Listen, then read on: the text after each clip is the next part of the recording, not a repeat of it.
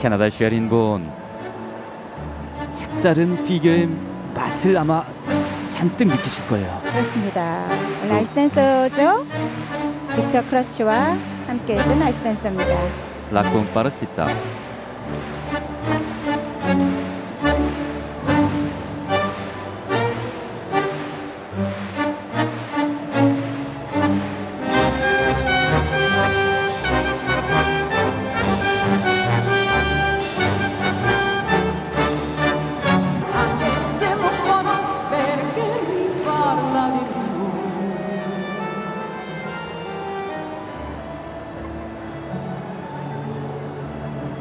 마치 의자가 스테인트를 타듯 네, 네. 그렇죠. 의자도 엣지를 잘 씁니다.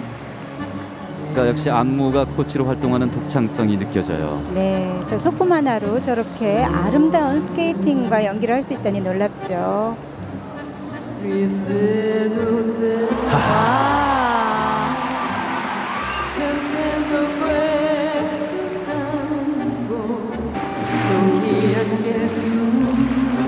일부에 보여드리지 못했던 선수들의 주요 장면을 보여드리고 있습니다. me